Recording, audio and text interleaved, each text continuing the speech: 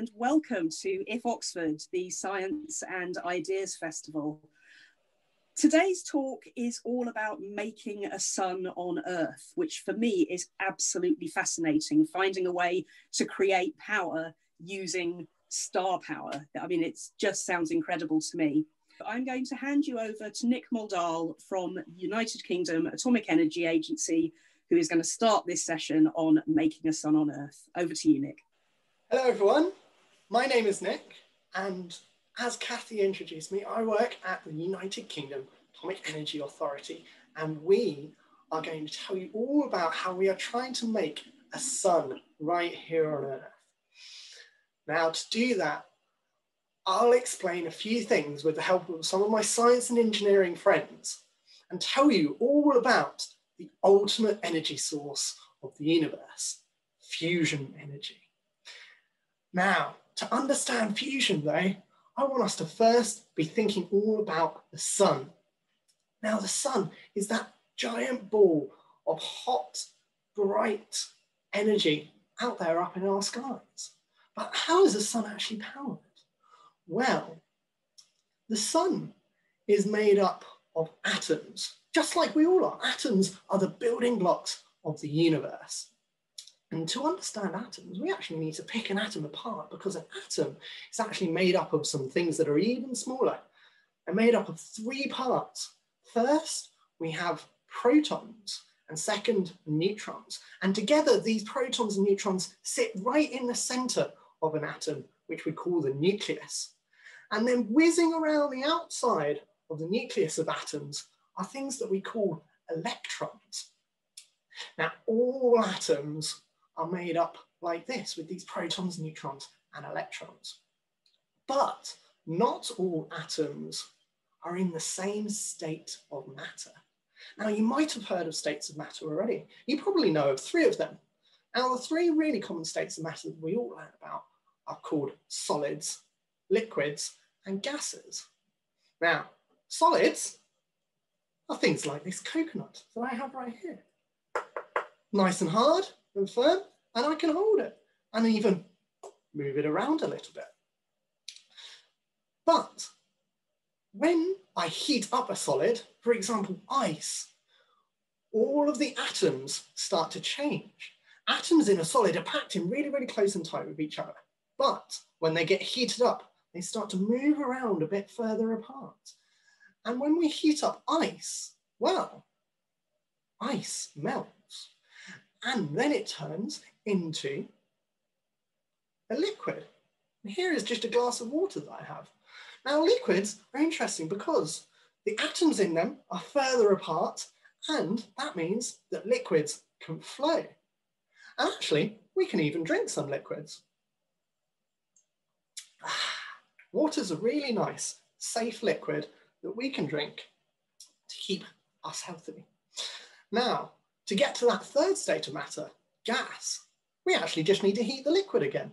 So if I was to heat up water, what do you think it might turn into?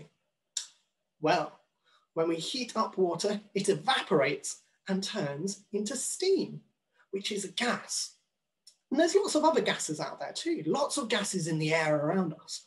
We're all breathing in one gas all the time.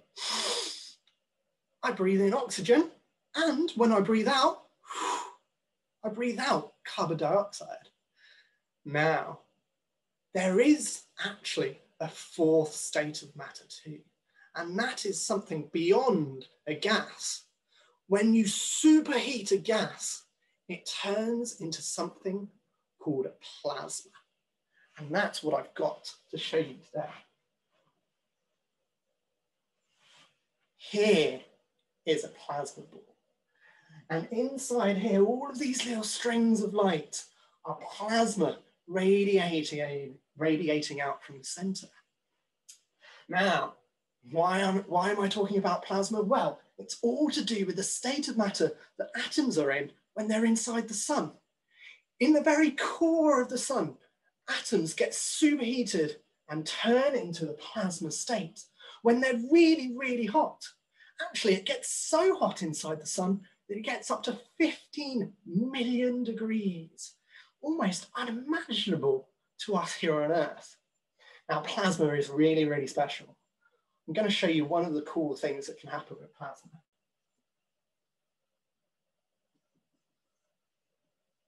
So when I do this, what does it remind you of? Well, you might think that it looks like lightning. And that's because lightning is another thing that actually has atoms in the plasma state.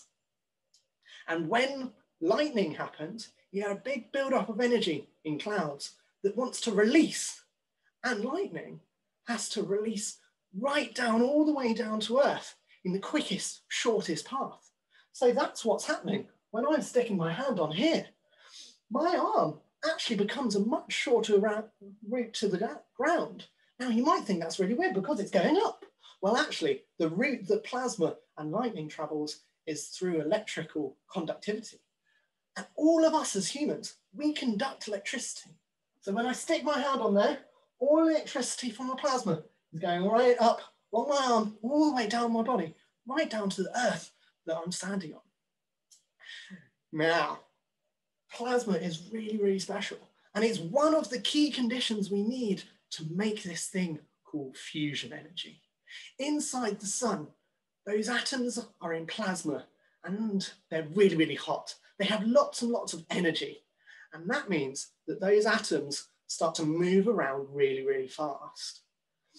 Now, one of the other things about atoms is that when they're in plasma, they break apart. So I told you that they're made up of protons, neutrons, and electrons.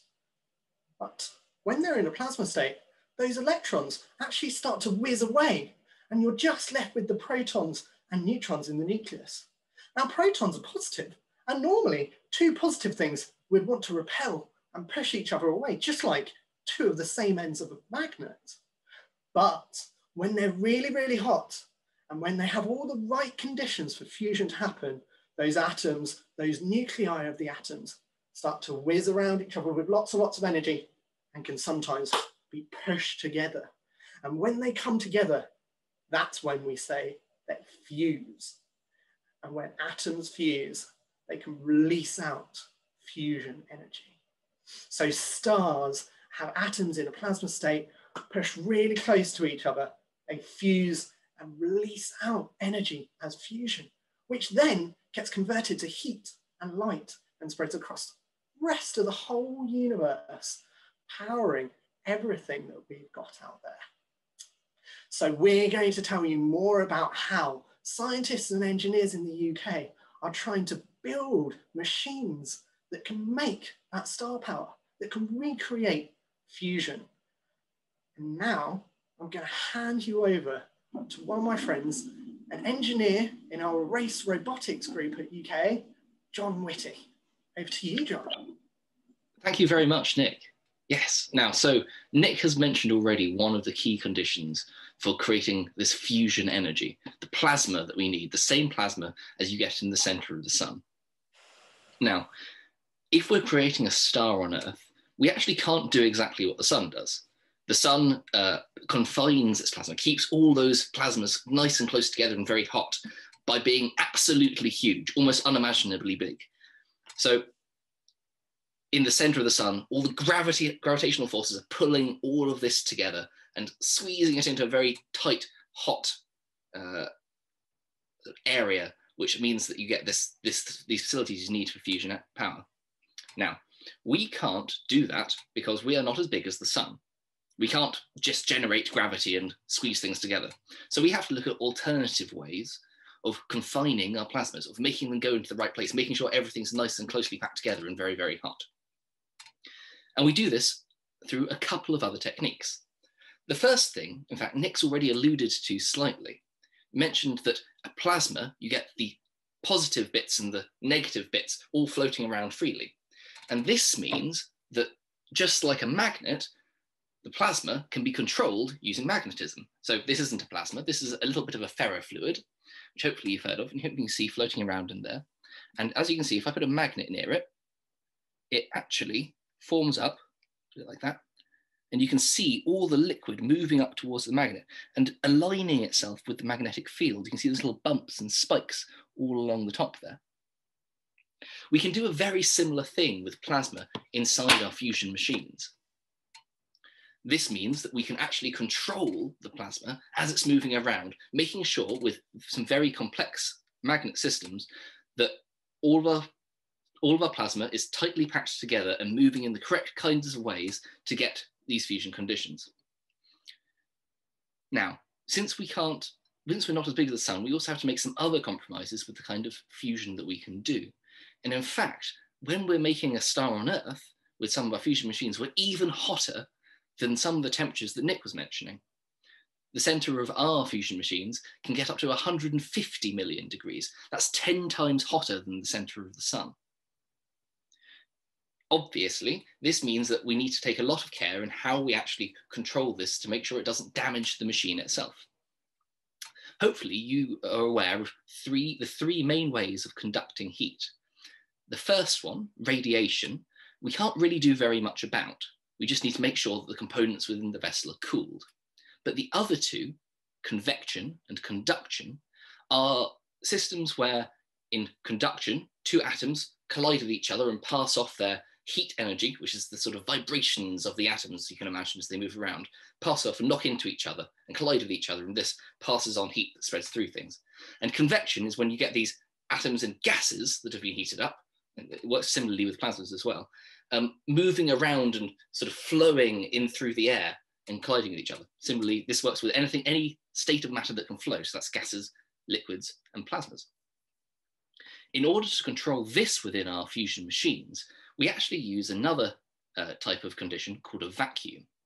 With this, we pump out all of the other gases that we really don't want to be inside our vessel, leaving only those fusion fuels, these fusion, fusion gases. Now, I can't, I don't have a little miniature tokamak uh, with me here. However, I can demonstrate exactly how this vacuum works. So here I have a slightly underinflated balloon. And next to me, I have chamber. This is what's called a vacuum chamber.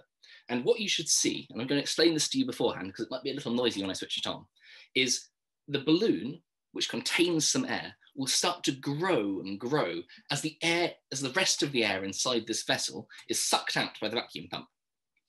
So this isn't me blowing more air into the balloon. This is the gas expanding to fill the space that's available as the rest of the gases around get pumped out.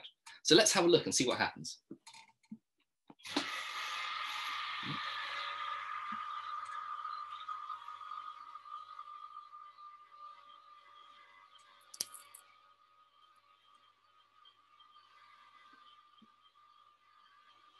So hopefully you can see the balloon is starting to grow now and it's almost twice as tall as it was before.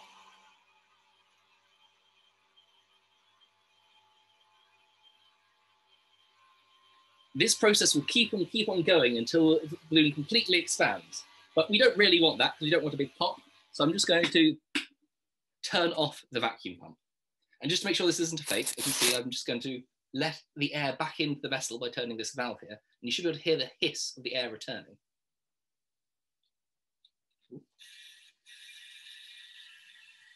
Can you hear that?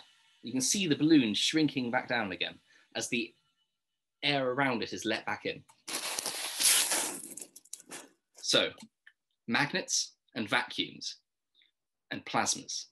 These three conditions are what we need to create a sun on Earth. But how does this all come together? I'm actually going to pass on over to another one of my friends and colleagues, Shep, who's a technical officer within our materials department, who will hopefully explain how all these components come together to create this star on Earth. Thanks very much, John. So in my right hand here, you can see I'm actually holding a fusion machine. Well, I say I'm holding a fusion machine. I'm actually holding a model of one. Because if I was actually holding a fusion machine in my hand, I'd have to be probably as strong as Atlas or some mythical creature. Because they're massive hundreds and hundreds of tons of steel and every kind of material you can think of are put into these. Now, we've been talking about some of the different components, but first, I'm going to come over here to a coconut. Why am I holding a coconut? Well, I did try first off to get a hairy coconut, but apparently Oxfordshire doesn't get hairy coconuts, but I've had to make one. So I've got my hairy coconut here. And just like the hairs in your head, you want to brush those hairs down. You want to get all nice and smooth and everything going in the same direction. So you're brushing the hairs on your coconut. And as you brush those hairs, you want to try and go in all the same direction. And on a shape like the coconut that I have here, it's very hard to get all those hairs going in the same direction and you end up getting lots of tufts. So we have to talk about different shapes and what is the best shape to get all the hairs to go in the same direction. Well, something like a donut. If I, you know, I drop my donut and it gets all hairy. So I'm going to brush all the hairs on my on my my donut here, and actually makes it a lot easier to get them all going in the same direction. So this is where our fusion machine, also known as a tokamak, um, comes in. So I'm just going to quickly switch my camera here and make it a little bit easier for you guys to have a look at what's going on in uh, uh, on our fusion machine.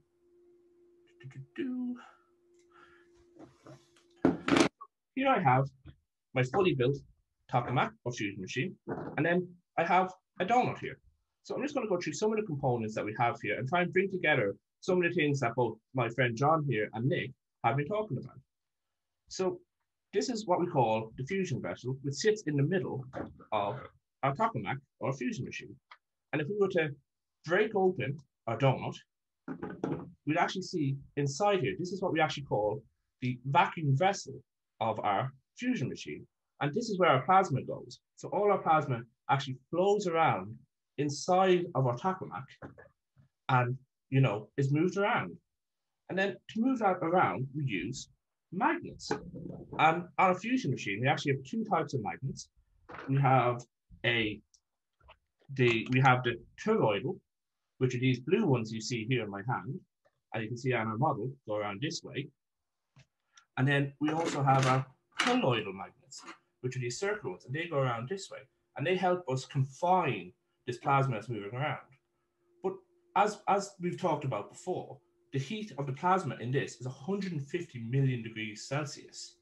Now, we have lots of different materials that work on this, but if you actually attend my um, my show that I'll be doing tomorrow at six o'clock, um, uh, super materials for extreme conditions, you'll find out more about the different materials that we use to confine these plasmas. So please do come along. I really love to see you guys there. But this all helps us keep the plasma inside of our of our fusion machine. Um, but like a car, this that keeps it safe, and that keeps or the the magnets help keep the plasma from touching the walls of a vacuum vessel.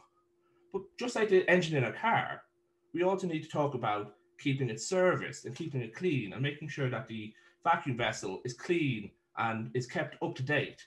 How do we do something like that, John? Well, so one really interesting thing about uh, our fusion machines is there's lots of different ways of doing this kind of thing, of maintaining these components. Some simple fusion machines and some sort of earlier fusion machines were actually all maintained by hand.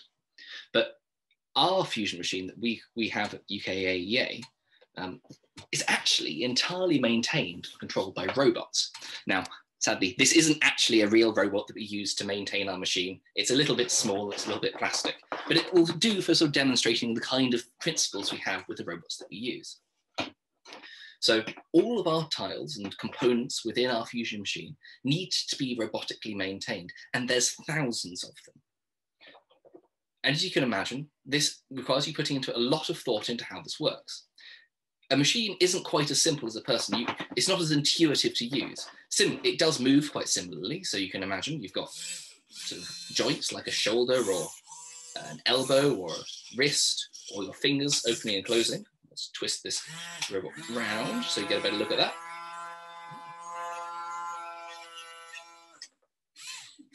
So here you can see the fingers opening and closing. And you can even imagine you're holding a torch. You can do the same thing with the little robot here. Now, this means that all of our systems that were previously previously might have been maintained by people, we can adapt similarly so they can be maintained by robots. Now, the robots that we use inside our fusion machine are actually a lot more complex than this.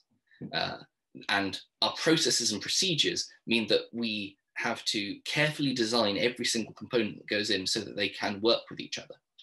But there are some similarities. One of our big robots called Mascot which is a acronym I won't be explaining because it's all in Italian and I completely butcher it. Um, is actually very similar to how a human body works, with arms that hang down and fingers that grip, um, though there's some additional niceties like the ability to multiply the amount of force so you can pick up several hundred kilo weights with very little effort if you're one of the operators. This requires a lot of training and lots of practice in order to be able to use. And trying to make systems, going to all this effort of designing these systems, designing these complex components all together to create this miniature star is a huge, huge and complex effort requiring lots and lots of different people and groups from roboticists like myself to material, material engineers like Shep and all sorts of others.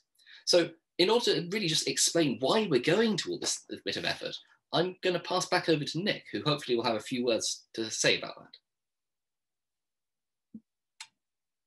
Uh, Nick, I think you're muted slightly. Cool. Thanks very much, John. And thanks very much, Shep, as well. See, it's really awesome seeing all of these different things come together to build these big engineering machines like what we're trying to make with our fusion devices. Now, I'm just going to finish off by actually showing a few slides that will help us bring all of that together and also tell you why we're wanting to try and build these fusion machines. So just let me share my screen here with you. And hopefully now you can see our title slide of making a sun on Earth.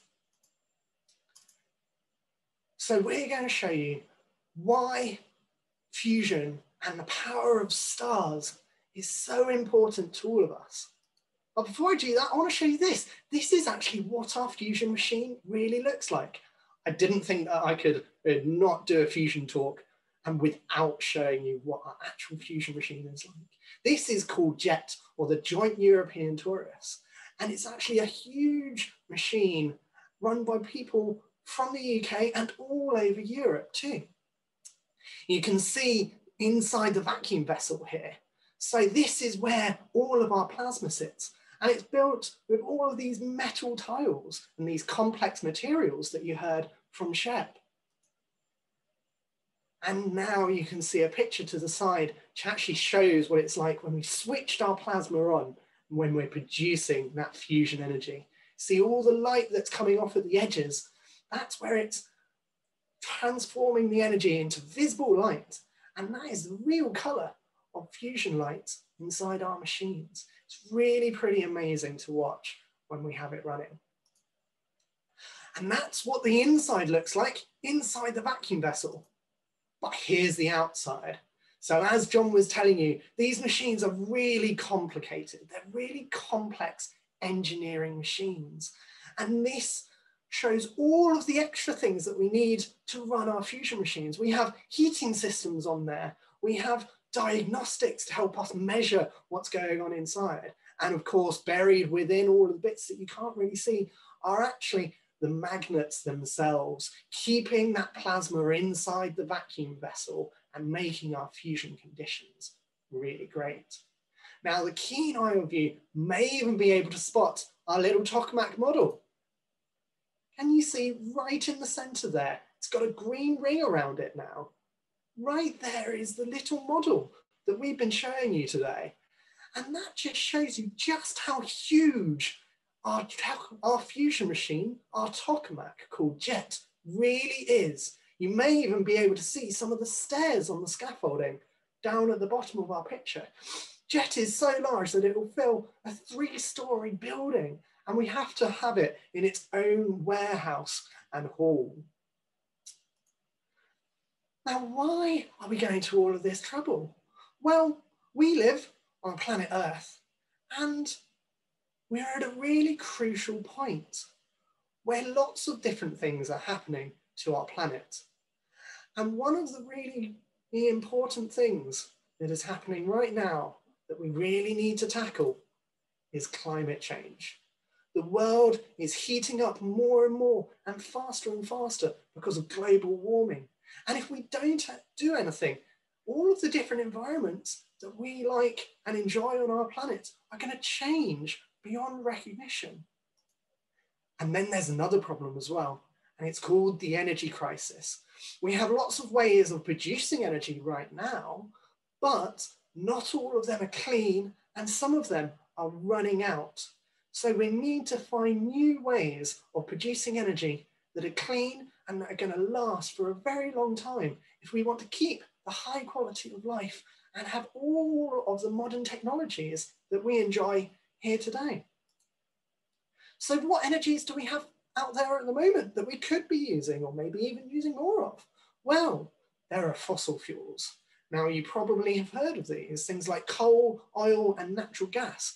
If we burn fossil fuels, we can produce energy. But burning fossil fuels is also very bad for the planet. If we burn fossil fuels, we'll release carbon dioxide into the atmosphere. And carbon dioxide is one of the biggest greenhouse gases that is causing global warming and climate change. So we don't want to be using fossil fuels anymore.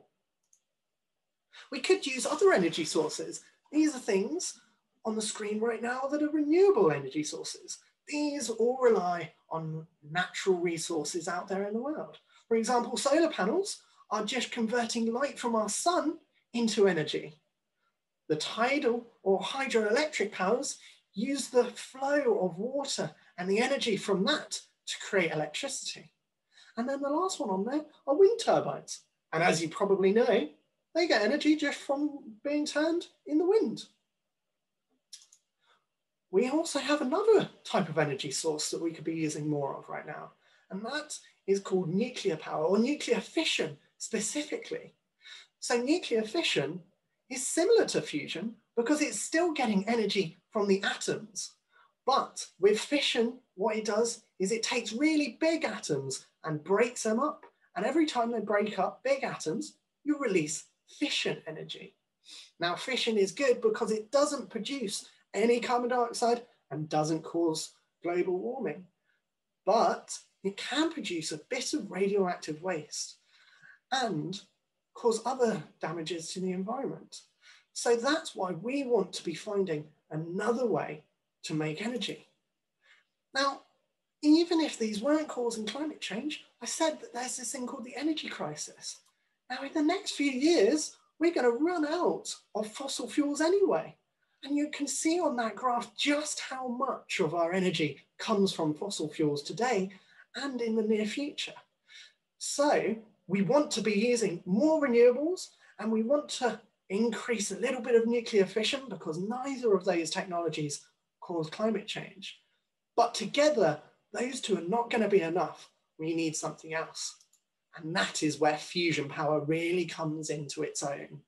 Now, there's lots of advantages that we could use from fusion. For example, it will be able to give us a continuous power supply and it doesn't have to rely on having a windy day or a nice bright sunny day to work. It's not going to produce CO2. So it's not causing any global warming and climate change. It's also only producing a very low amount of that radioactive waste. So this is what makes it better than the current fission energy that we're producing. And it's also really, really safe. You've heard about all the different conditions that we need to make fusion happen. And if one of those conditions isn't there, then it actually just stops and turns itself off in a really nice, safe, controlled way. And there's also lots of fuels out there. So we don't have to worry about it running out. We can actually get one of our fusion fuels from the ocean itself. And we don't need very much. So there'll still be lots of ocean left out there when we're done and when we're making fusion power in the future. Now, to make fusion happen, as you've kind of heard a bit of today, we need lots of different people all coming together to work on this big mission of creating a new sustainable energy source. And this is what we're working towards, making a fusion power station one day so we can get fusion power into all of our homes. To do this, we need to understand more about the science of plasma. So this is where we're studying a lot with JET, our tokamak, our fusion machine. And there are also all of these other areas. So you can see that robotics center called RACE. In that picture is a little picture of our mascot robot, the robot John was talking about. There's also materials department that looks at how we're building these fusion machines. We also need to study how we're going to use our fuels and make them really, really efficient. And then we're looking at different designs and different manufacturing technology so that one day we can produce lots of fusion power stations all over the world. And this is where we're going. We're trying to harness the power of the stars so that one day we can create a sustainable future and build lots of these mini suns all over Earth. So we hope that you really enjoyed today, but don't forget there's lots of other things uh, that we're doing at the IF Oxford Science Festival as well. We've also got an art competition that we're running. If you want to find out more about that, do head on over to our Explorer Zone booth. And then tomorrow, as Shep mentioned, we've got an event all about the materials that are used in fusion and how they cope with the extreme conditions inside fusion machines. And with that, I think we're going to be ready for any questions that any of you might have for us. Thank you, Nick, Shep, and Jonathan, for such a fascinating talk. I feel I do understand a lot more about what you're doing over with your tokamak now. So um, thank you for that. We do have a few questions. Um, first one, I, I would say, is somewhat fundamental. How was the sun formed? Who would like to, to deal with that one? So I, I, will gladly, if, if Nick doesn't want to take this. Go for it. Okay. So I'll make a disclaimer here. The, the way the sun was formed is very, very different to how we're creating our miniature stars. So there's there's no people going around uh, building giant solar-sized tokamaks trying to create their own sun. Um, the sun is formed out of uh, gravity pulling together absolutely huge gas clouds called nebula. Um, called nebulae, really, which are these big clouds of hydrogen gas and other sort of fundamental particles.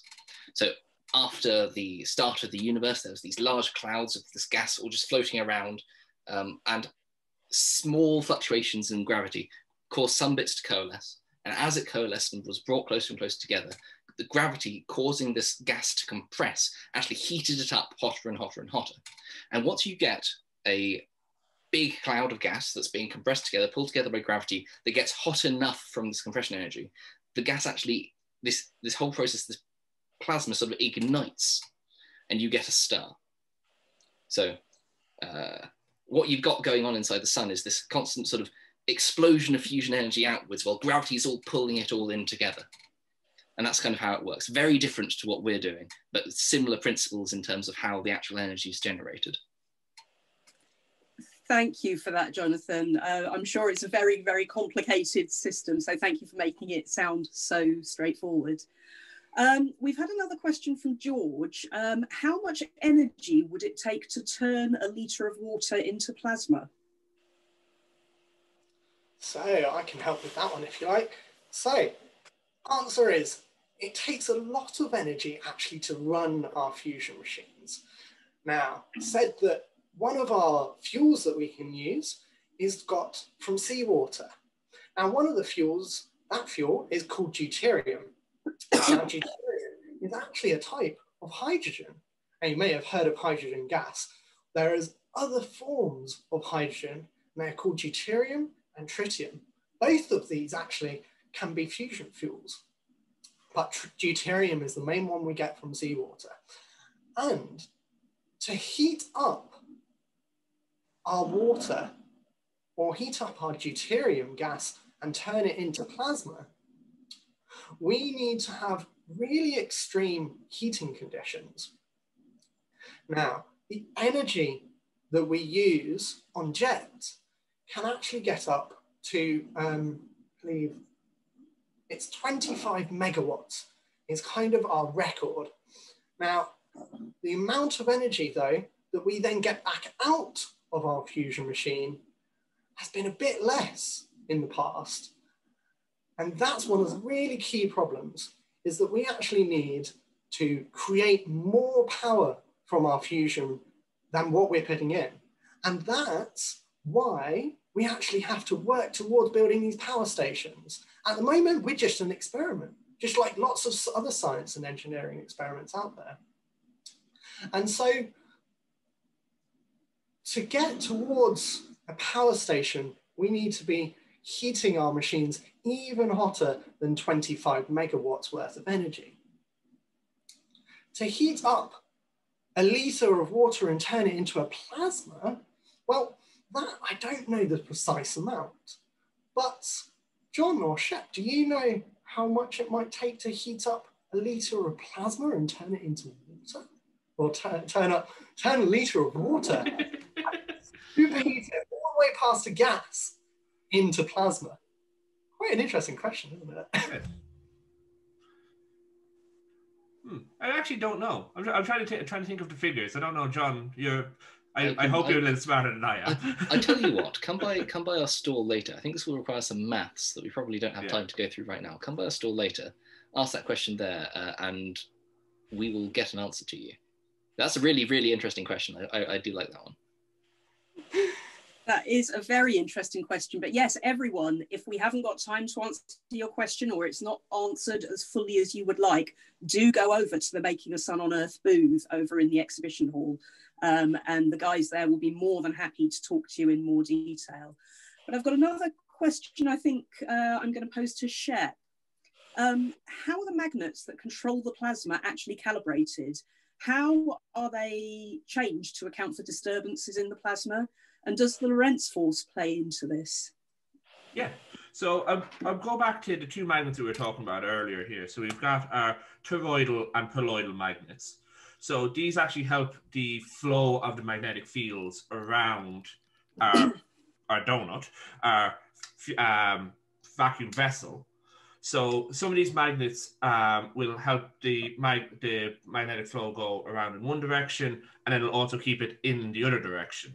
So we have got one going basically crushing it in this way, the magnets pushing the, the fields together like this, and the other one forces it around at speed.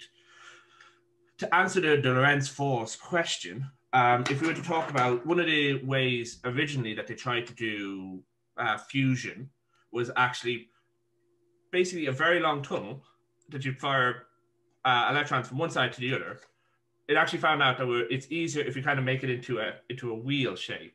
So I think I don't know if that kind of answers the question, but I hope it kind of gets towards the answer for the question.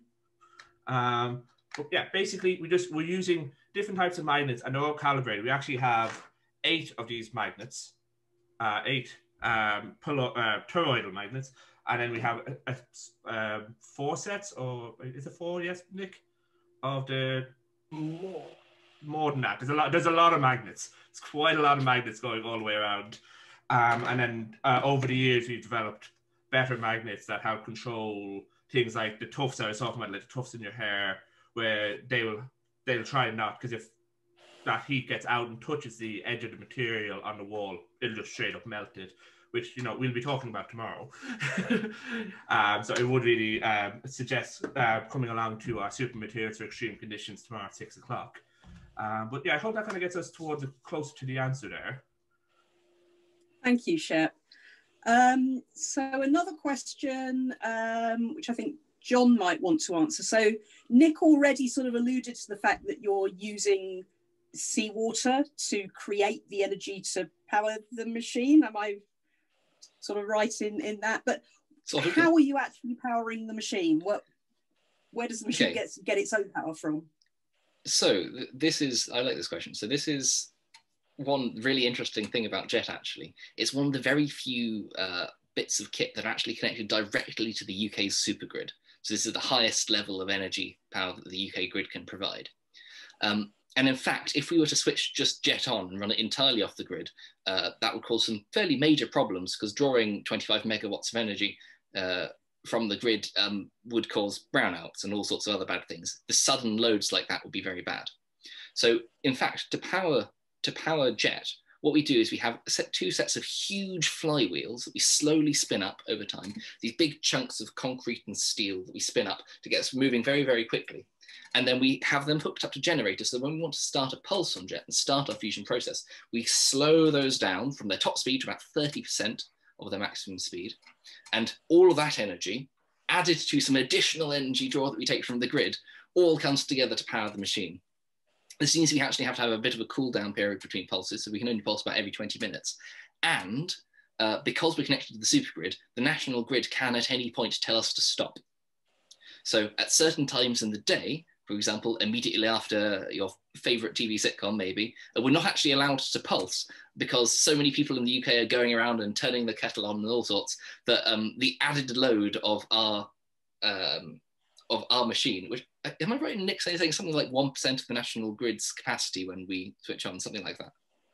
Well, yes, yes. So we yeah. need we need two percent in total, and 2%. half comes from the fly, fly, flywheels and half direct from the grid. So yeah, one percent yeah. from the grid. So we're talking so, what was it, 25, 25 megawatts, and the whole entire grid is about eight gigawatts. So just think of those numbers is quite quite significant.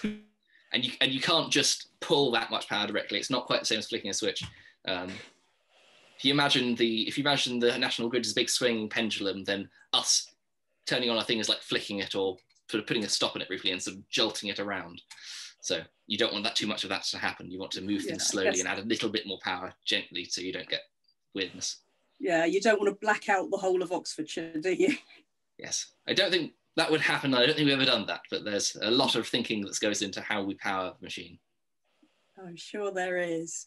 Um, so one last question, and I don't know, Nick, whether you're able to demonstrate this or not, but you were showing us the plasma ball earlier and you put your hand on it and it created what looked like lightning. What would happen if you put both hands on it in different places? Can you do that? Is it safe? Really, really good question. Um, shall we find out? mm. Let's. so, Here's the plasma ball again. Show you again what happens when you've just got one hand on. If I have it right at the top, it's really, really strong. Around the edge, you can see it kind of sparking a little bit differently. Now, your question is asking, can we put two hands on? Well, let's have a try, see what happens. I'll put one hand on first, and then I try and put my other hand maybe down here. Ooh, can you see? Kind of shaped tries to change between. But only ever sort of tries to spark towards one mostly. And that's because what you're saying when it wants to try and have the shortest or quickest path. So when I've got my two hands on, it's actually splitting the path. And that's why most of it will try to still stay at one point. So when I have one hand off, goes to one, the other hand it's really clear when it's one-handed. When it's two though, the electricity or the plasma is trying to be shared between the two paths, but only one will be shorter. So actually, there's not much that happens when you've got two points on, other than it tries to always go for the fastest path. And the final thing I'll say that's actually really useful about that, again, if we think about lightning, if we were stood in a completely empty field and there was a lightning strike, it would be really, really bad. Because that lightning would come all the way through the air, you know, the gas in the air, and then hit you. Because we've already seen that we conduct electricity and the lightning would rather come to us than it would through the air. But if, for example, there was something else in that field that made the path of electrical conductivity even shorter, then it would actually go towards that thing instead. So that's why, firstly, you should never be in a field in a lightning strike. But if you ever are, try and be where there's other objects that conduct electricity better.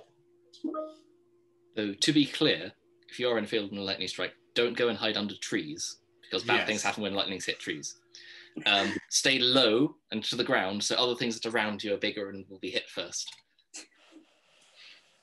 thank you for those cautionary words. So hopefully none of us will get caught in an empty field in a, a lightning strike.